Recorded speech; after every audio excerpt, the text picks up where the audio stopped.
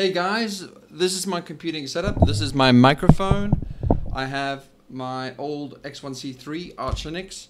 I've got my new T460s running Windows. Usually it does run Arch Linux. I have it going here because of Premiere Pro editing.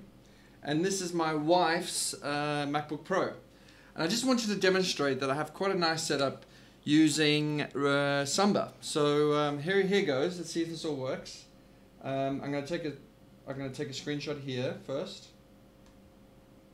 Um, I was hoping to take a screenshot here. Whatever. Okay, screenshot coming in. La di da di. Then I take a screenshot here. Um, uh, ooh, how do you do a screenshot again? It's something like Windows print screen. Okay, now I need to copy that into, oh right, oh no, back. How do you go back?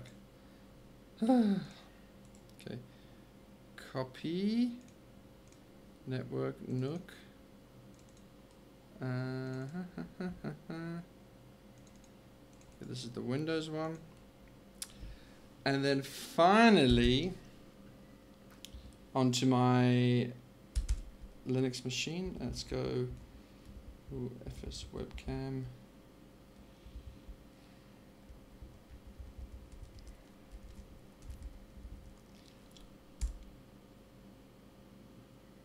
Oh, it's being used by it's being it's being used by uh, OBS.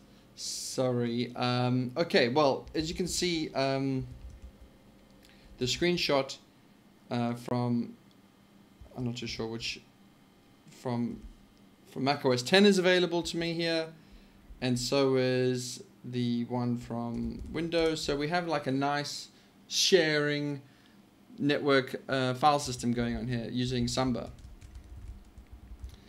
uh, which is hosted on my NUC. And yes, it's in a RAID 1 configuration uh, using Btrfs. Uh, what also I'm doing is that I store my, my video footage on this sort of external drive because this SSD drive fills up very quickly, so you can see my footage and as well as the Premiere Pro uh, project files. So I can I can re-edit when I when I need to, and also when I finish making a video, I'll copy it in here too. So that is file sharing between uh, Arch Linux, Windows, and Mac OS 10. Awesome! Thumbs up if you liked it.